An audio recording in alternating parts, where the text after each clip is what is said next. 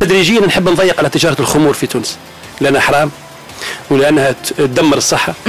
آه نحب نمنع بيوت الدعارة في تونس فورا لأن هذه امتهان للمرأة وزنا محرم في الشرع. آه فأنا نحب القانون هذا يكون واضح لأن نحب تونس تمشي تدريجيا على أنها تكون قوانينها غير متعارضة مع الإسلام. نقطة الانطلاق في النسبة في برنامجي هو أن يكون الإسلام هو مصدر الهدي هو مرجعيتنا كأمة. لأننا من دونه والله لن نفلح. والدليل الشقاء الذي نحن نعيشه اليوم منعنا الحجاب في تونس منعنا النقاب في تونس لما وقعت مشكلة في المدرسة القرآنية أقمنا الدنيا ولم نقعدها لكن في النتيجة شنو عندنا؟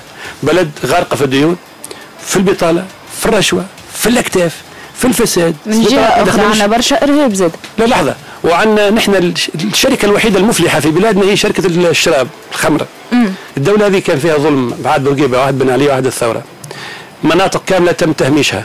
حيف تمشي القصرين تقول لي هذه عايشة في هذا في تونس ولا مش في تونس؟ تمشي لسيدي بوزيد تمشي الشمال الغربي. ريزرفوارات نتاع ماء ضخمة وهما عطاشة. تشوف الفلاحين شنو صار فيهم تشوف يا جماعة الذرية من شبابنا اللي في القهاوي هنا بطال. أنا نحب الآن العدل في الميزانية الإنفاق بسخاء على الفقراء زيادة الضرائب على الأغنياء محاربة التهرب الضريبي. شو زيادة الضرائب على الأغنياء؟ معناها إذا كان افتراضا أنك أنت لنفترض أي. دخلك من ثلاثة أشغال تعملين مثل نقول لك دخل مثل الإذاعة هذه وإذاعتين أخرين. ودخلك ممنوع مثلا نفترض ودخلك السنوي 60 ألف دينار. شخص إن شاء الله ربي ينوب عليك إن شاء الله يا رب. إن شاء الله. 60 ألف دينار يمشي النظام الضريبي عليه من النظام المعتمد به الآن في تونس. لكن لو فوق من هذه الستين أنت قدرت تدخلي 40 ألف دينار أخرى من مثلا مراسلات لفرانس 24 ولا الجزيرة ولا غيرها.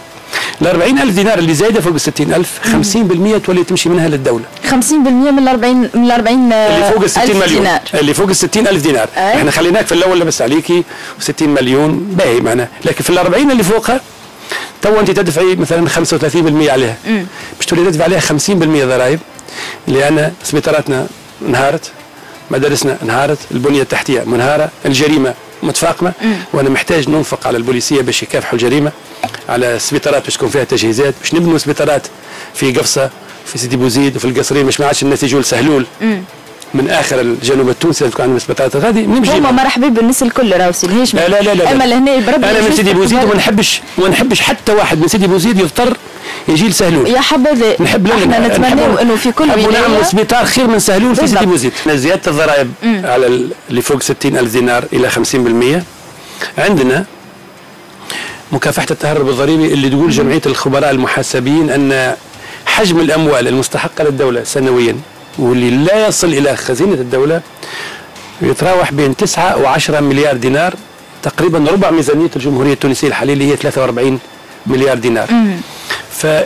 فانا معول برشا بعد عون الله عز وجل على التصدي للتهرب الضريبي أن نجيب على الأقل 50% من الأموال اللي ما تدخلش تو اللي هي 5 مليار والحاجة الأخرى اللي بتجيب لنا مداخيل هو إعادة النظر في عقود التصرف في البترول في الغاز في الملح في الجبس في الفوسفات كخطوة نحو تأمين الثروات الوطنية والتحكم في عائداتها بطريقة أفضل الملح اللي صالح الدولة بالعدالة الجبائية وبمكافحة التربة الضريبي وبتأمين الثروات الوطنية ومكافحة الفساد والرشوة باش نلقاو فلوس باش نمشوا منحة البحث عن عمل.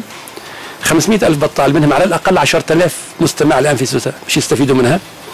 نعطوه 200 دينار ونقول له اسمع إما تخدم في حاجة أنت تعرفها ديجا تتقنها أي.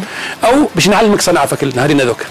باش أنت تولي عندك إمكانية بعد شوية تفتح مشروع وإذا تفتح مشروع نعاونك.